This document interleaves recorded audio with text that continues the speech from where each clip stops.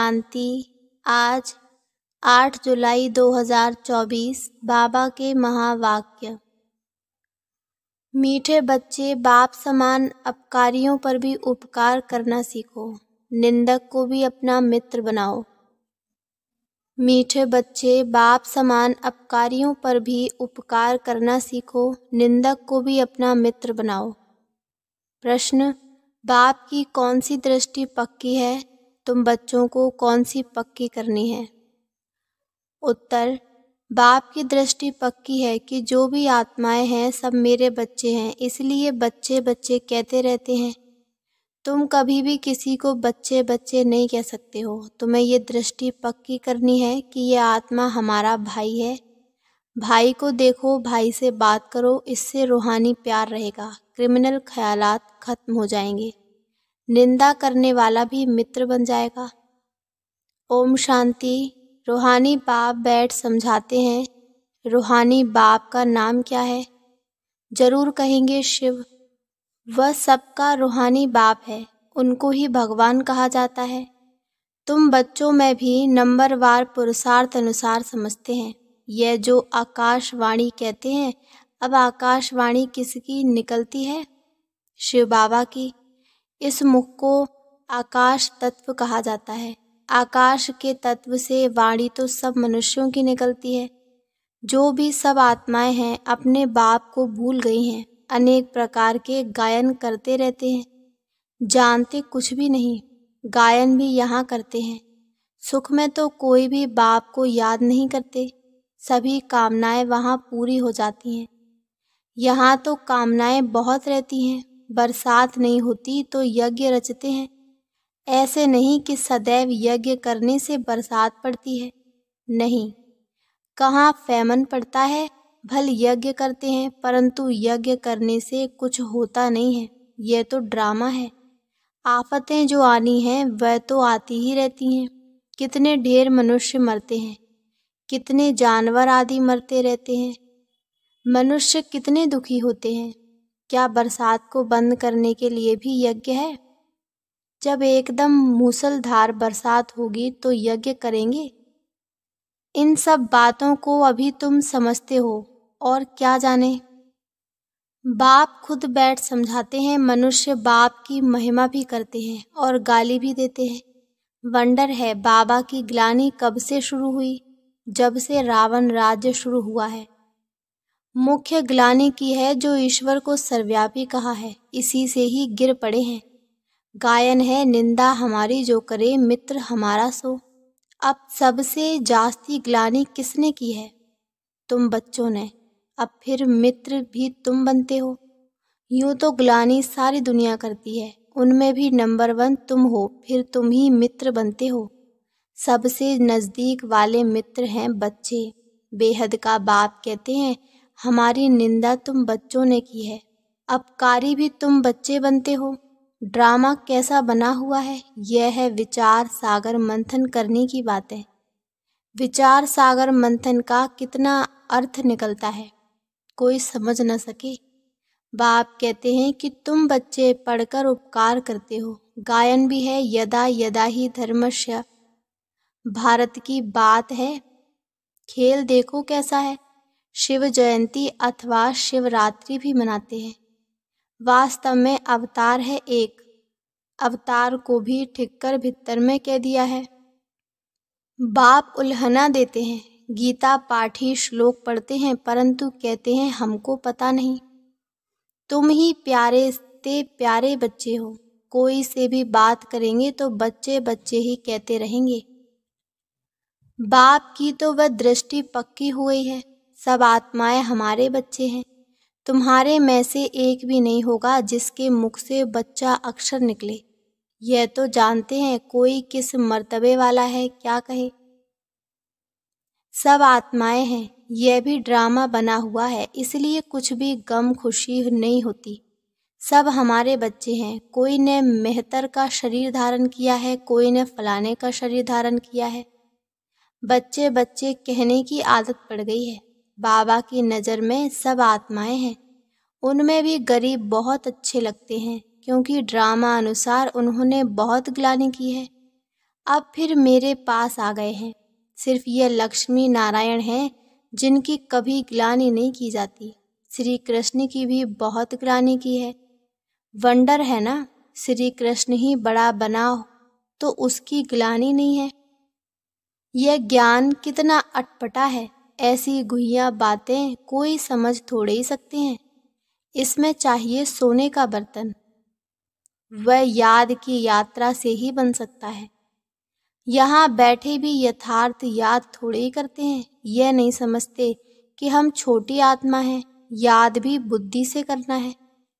ये बुद्धि में आता नहीं है। छोटी सी आत्मा वह हमारा बाप भी है, टीचर भी है। ये बुद्धि में आना भी असंभव हो जाता है। बाबा बाबा तो कहते हैं, दुख में सिमरण सब करते हैं। भगवान वाच है ना, दुख में सब याद करते हैं, सुख में करे ना कोई। दरकार ही नहीं याद करने की। यहाँ तो इतने दुख, आफतें आदि आती हैं, याद करते हैं, हे भगवान, रहम करो, कृपा करो। अब भी बच्चे बनते हैं तो भी लिखते हैं, कृपा करो, शक्ति दो, रहम करो। बाबा लिखते हैं, शक्ति आपे ही, योग बल से ले लो। अपने ऊपर कृपा, रहम आपे ही करो। अपने को आपे ही राज तिलक दो। युक्ति बताता हूँ, कैसे दे सकते हो? टीचर पढ़ने की युक्ति बताते हैं, स्टूडेंट का काम है पढ़ना, डायरेक्शन पर चलना। टीचर कोई गुरु थोड़ी है जो कृपा आशीर्वाद करे। जो अच्छे बच्चे होंगे, वह दौड़ेंगे। हर एक स्वतंत्र है, जितना दौड़ी लगानी है, वह लगाए। याद की यात्रा ही दौड़ी है। एक एक आत्मा इंडिपेंडेंट है। भाई बहन का भी नाता छुड़ा दिया। भाई भाई समझो, फिर भी क्रिमिनल आई छूटती नहीं है। वह अपना काम करती रहती है। इस समय मनुष्यों के अंग सब क्रिमिनल हैं। किसको लात मारी, घूसा मारा तो क्रिमिनल अंग हुआ ना? अंग अंग क्रिमिनल है। वहाँ कोई भी अंग क्रिमिनल नहीं होगा। यहाँ अंग अंग से क्रिमिनल काम करते रहते हैं। सबसे जास्ती क्रिमिनल अंग कौन सा है? आँखें। विकार की आश पूरी नहीं हुई तो फिर हाथ चलाने लग पड़ते। पहले पहले हैं आँखें। तब सूरदास की भी कहानी है। शिव बाबा तो कोई शास्त्र पढ़ा हुआ नहीं है। यह रथ पड़ा हुआ है। शिव बाबा को तो ज्ञान का सागर कहा जाता है। यह तुम समझते हो कि शिव बाबा कोई पुस्तक नहीं उठाता। मैं तो नॉलेजफुल हूँ, बीज रूप हूँ। ये सृष्टि रूपी झाड़ है, उसका रचयिता है बाप, बीज। बाबा समझाते हैं, मेरा निवास स्थान मूल वतन में है। अभी मैं इस शरीर में विराजमान हूँ, और कोई कह न सके कि मैं इस मनुष्य सृष्टि का बीज रूप हूँ। मैं परमपिता परमात्मा हूँ, कोई कह नहीं सकेगा।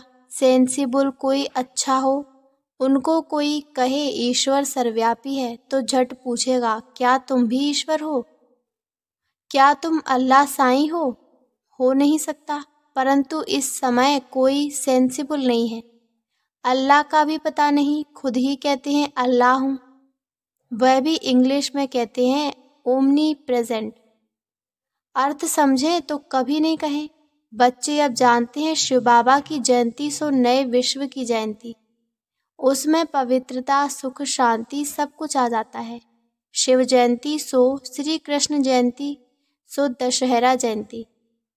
शिव जयंती सो दीपमाला जयंती, शिव जयंती सो स्वर्ग जयंती। सब जयंतियाँ आ जाती हैं, ये सब नई बातें बाप बैठ समझाते हैं। शिव जयंती सो शिवालय जयंती, वैश्यालय मरंती। सब नई बातें बाप बैठ समझाते हैं।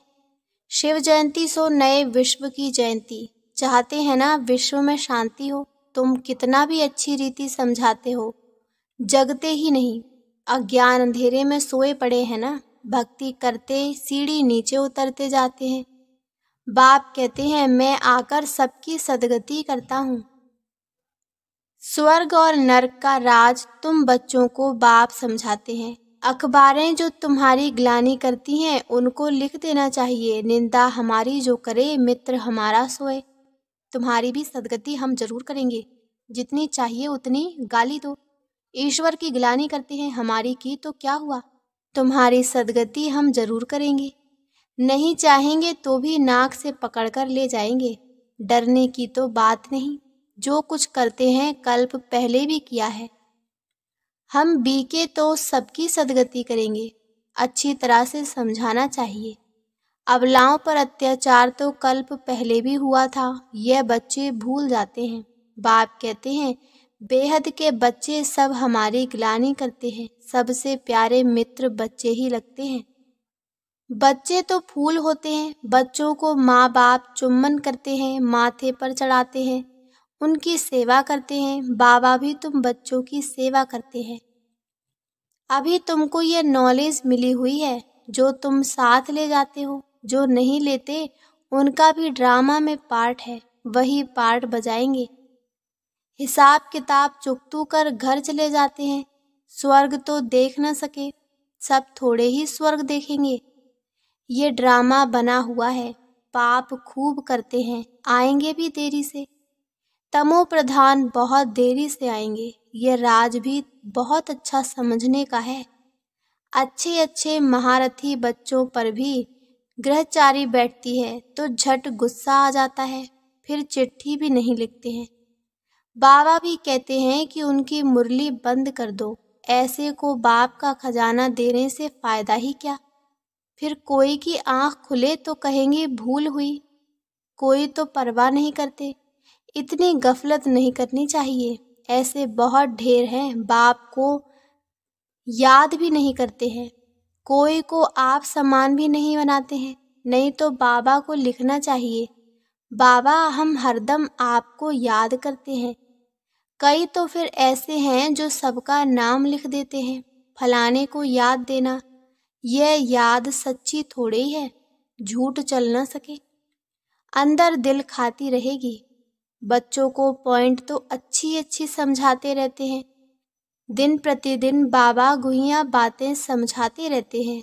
दुख के पहाड़ गिरने वाले हैं। सतयुग में दुख का नाम नहीं, अभी है रावण राज। मैसूर का राजा भी रावण आदि बनाकर दशहरा बहुत मनाते हैं। राम को भगवान कहते हैं। राम की सीता चोरी हुई। अब वह तो सर्वशक्तिमान ठहरा, उसकी चोरी कैसे हो सकती? यह सब है अंधश्रद्धा। इस समय हर एक में पाँच विकारों की गंदगी है। फिर भगवान को सर्वव्यापी कहना ये बहुत बड़ा झूठ है। तब तो बाप कहते हैं, यदा यदा ही धर्मस्य मैं आकर सचखंड सच्चा धर्म स्थापन करता हूँ। सचखंड सतयुग को झूठ खंड कलयुग को कहा जाता है। अभी बाप झूठ खंड को सच खंड बनाते हैं। अच्छा मीठे मीठे सिकी लदे बच्चों प्रति मात पिता बाप दादा का याद प्यार और गुड मॉर्निंग। रूहानी बाप की रूहानी बच्चों को नमस्ते। धारणा के लिए मुख्य सार पहला, इस गुइया व अटपटे ज्ञान को समझने के लिए बुद्धि को याद की यात्रा से सोने का बर्तन बनाना है। याद की रेस करनी है। दूसरा, बाप के डायरेक्शन पर चलकर, पढ़ाई को ध्यान से पढ़कर, अपने ऊपर आप ही कृपा व आशीर्वाद करनी है। अपने को रास तिलक देना है, निंदक को अपना मित्र समझ उनकी भी सदगति करनी है। वरदान ऊपर से अवतरित हो, अवतार बन, सेवा करने वाले, साक्षात्कार मूर्त भव। ऊपर से अवतरित हो, अवतार बन, सेवा करने वाले, साक्षात्कार मूर्त भव। जैसे बाप सेवा के लिए वतन से नीचे आते हैं, ऐसे हम भी सेवा के प्रति वतन से आए हैं। ऐसे अनुभव कर, सेवा करो तो सदा न्यारे और बाप समान विश्व के प्यारे बन जाएँगे। ऊपर से नीचे आना माना अवतार बन अवतरित होकर सेवा करना। सभी चाहते हैं कि अवतार आए हैं और हमको साथ ले जाएँ तो सच्चे अवतार आप हो जो सबको मुक्ति धाम में साथ ले जाएँगे। जब अवतार समझकर सेवा करेंगे, तब साक्षात्कार मूर्त बनेंगे और अनेकों की इच्छाएँ पूर्ण होंगी। स्लोगन, आपको कोई अच्छा दे या बुरा, आप सबको स्नेह दो, सहयोग दो, रहम करो। अच्छा ओम शांति ओम शांति ओम शांति।